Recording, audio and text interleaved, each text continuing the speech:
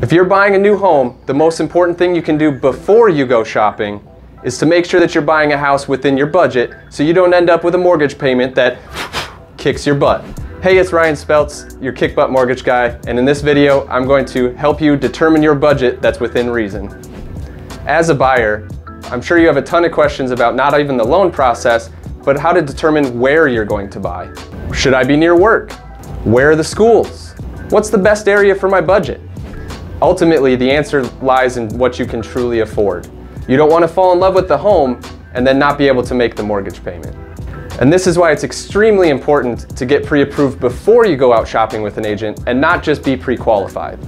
And yes, there is a difference between being pre-approved and being pre-qualified for a home. Basically, anyone with a heartbeat can be pre-qualified for a home. It means absolutely nothing. However, when you get pre-approved, you've already gone through four or five steps and you're a lot more qualified in the eyes of that seller, which in this hot market means a lot. So getting pre-qualified basically means you're just giving verbal information to someone and they're saying, yep, go ahead and buy the home. Getting pre-approved means you've submitted all the pertinent loan information, all the loan documents, they've verified those loan documents for you, and they've given you a pre-approval letter. Second, you do not really know your budget until you're fully pre-approved. Those online calculators can only give you so much information because there's a ton of other costs that may come into play in your monthly mortgage payment. It's not just the mortgage that comes into play. You're going to have taxes, homeowner's insurance, possible homeowners association, and private mortgage insurance all to consider in your monthly dues. And when people get their butt kicked is when they're not paying attention to those other fees that I just spoke of.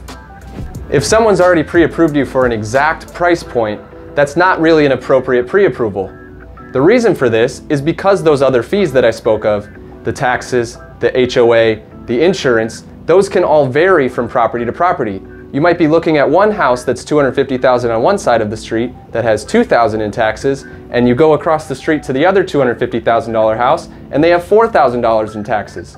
One house you qualify for, one house you don't. Make sure your lender knows the difference between those two houses.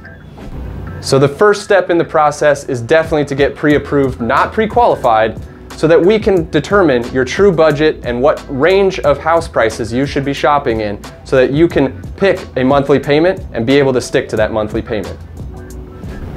This allows your realtor to set some criteria for you in their searches and get you looking at appropriate houses for yourself and for your budget. It's never too early to get your financing in line. Buying a house is exciting, but it's first and foremost an investment. Part of that investment is getting a kick-butt mortgage and terms to maximize your return. Part of getting a kick-butt mortgage is educating yourself on how the loan process works. That's why I wrote my kick-butt mortgage guide A to Z book. Make sure you click the link in and around this video so that you can get your free copy today. This book will give you the A to Z of obtaining a mortgage and it'll help you pick which mortgage is right for you. Regardless of what kind of property you're purchasing, knowing your numbers is the most important part. If you have any additional questions for me, feel free to reach out. Don't forget to download the book. My name is Ryan Speltz and you have a kick butt day.